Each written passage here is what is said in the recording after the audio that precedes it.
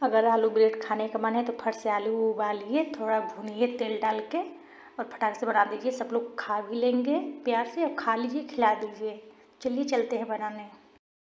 निकाल ली, ठंडा हो जाएगा तो छील लूँगी। आलू को तोड़ दी, अब इसको भून लूँगी।